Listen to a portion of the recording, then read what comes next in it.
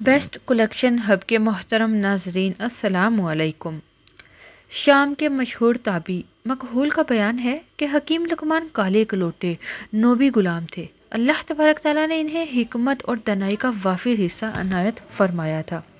ये गुलामी की जंजीरों में जकड़े हुए थे और हकीम लकमान के आका को शतरंज खेलने का बड़ा ही शौक था। वो शतरंज के ज़रिए आपको पता है, जुआ खेला करता था। इसके दरवाजे पर एक नहर बह रही थी। एक दिन वो इस शर्त पर शतरंज खेल रहा था कि फ्री कैन में से जो हार जाएगा, वो इस नहर का पूरा पानी पिएगा।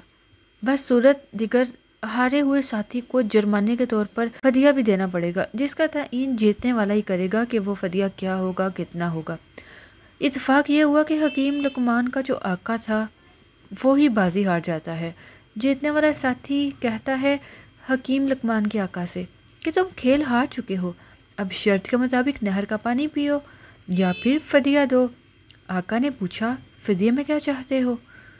उन जीतने वालों से पूछा। जीतने वाला बोला कि फदिया ये है कि मैं तुम्हारी दोनों आँखें निकाल दूँगा और तेरी सारी जायदाद पर कब्ज़ा कर लूँगा। हकीम लकमान का जो आका है, वो कहता है कि मुझे फ़ैसले के लिए एक दिन का मौका चाहिए होगा। जीतने वाले ने एक दिन की मोहलत दे दी। उसने कहा, चलो ठीक है, मोहलत ले लो। हकीम लकमान का जो आका है, बहुत संजीदा होता है। वो गमजदा हो जाता है, गमजदा हालत में बैठ जाता है। कि शाम के वक्त हकीम लकमान अपनी पीठ पर जो गठरी है, वो लाद कर आए। तो देखा कि उनका आका इंतहाई गम और रंज के आलम में निडाल पड़ा है, परेशानी में है। हकीम लकमान ने आका को सलाम किया, पीठ से बोझ उतारा। और आका की खिदमत में बैठ गया। इनके आका का मामूल था कि जब भी वो इसकी खिदमत में हाजिर होते हैं तो इनकी हमत भरी बातें सुनता और महफूज कर लेता था। मगर आज मुँह लटकाए हुए परेशान, मायूस बैठा था। हकीम लकमा ने अर्ज़ किया, आका, क्या माजरा है?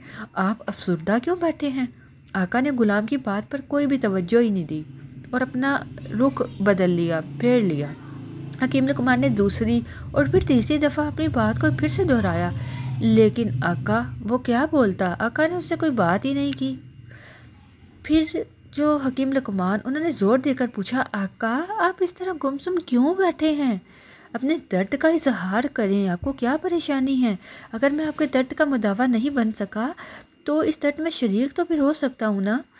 तो बल्कि ये भी हो सकता है कि आपकी संगीन परेशानी हल करने का मेरे पास कोई नुस्खा निकल आए, जो आपके हक में मुफीद साबित हो जाए। आका ने यह बात सुनकर उन्हें अपने शदीद गम और जो रंज था उसका सबब बताया कि क्या वाक़ हुआ था। फिर पूरी दास्तान सुनाई। पूरी दास्तान सुनकर जब हकीम लकमान ने उन्हें तसल्ली दी, आप बिल्कुल शिकस्ता खातिर ना हो, क्योंकि मेरे पास इस शर्त से बच निकलने का तरीका मौजूद है। आका ने बेताबी से पूछा अच्छा वो कौन सा तरीका है?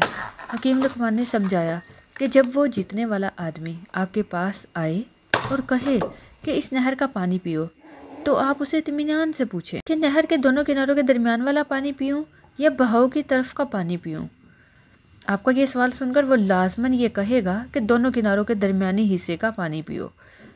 जब वो ये कहेगा ना तो आप उससे फ़ौर कहें कि ठीक है। मैं नहर के दोनों किनारों के दरमियानी हिस्से का पानी पीऊँगा। लेकिन पहले तुम बहाव को रोको, ताकि मैं पानी तो पी लूँ। इस तरह आप पानी पीने की शर्त से निकल जाएँगे। क्योंकि आपका जीतने वाला जो साथी है, नहर का बहाव रोक ही नहीं सकेगा। जब वो ये काम नहीं कर सकेगा तो नहर के दोनों किनारों के दरमियाने हिस्से का पानी पीने का इसका इसरार ही बाकी नहीं रहेगा। और आपको भी छुटकारा मिल जाएगा। आका का, जो आका को दानिश्वर गुलाम की ये तरकीब तो बहुत पसंद आई। उसके दिल को बहुत सुकून मिला। अगले दिन सुबह इसका साथी जब आया, जो जीतने वाला साथी था, इसने मुतालबा किया कि मेरी शर्त पूरी करो। आका ने कहा, बहुत अच्छा। पहले ये बताओ, नहर के दोनों किनारों का जो दरमियानी हिस्से का पानी है, वो मैं पीऊँ?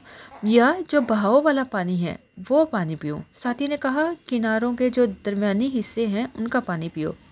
आका ने कहा, बहुत अच्छा। अब तुम यूँ करो कि पहले नहर का जो बहाव है उसको रोको ताकि मैं तुम्हारी शर्त पूरी कर सकूँ। साथी बोला, ये तुम क्या कहते हो? क्या ये मेरे लिए मुमकिन है? आका ने कहा कि, तुम्हारी शर्त भी मफकूद और हमारी शर्त भी मफकूद। यूँ ये मामला बखार खूबी ख़त्म हो गया और आका बहुत खुश हो जाता है सुकून में आ जाता है और खुशी से इसने हकीम लकमान को आज़ाद भी कर दिया। अल्लाह तबारक ताला सबको हकीम लकमान जैसा दानश्वर बनाए।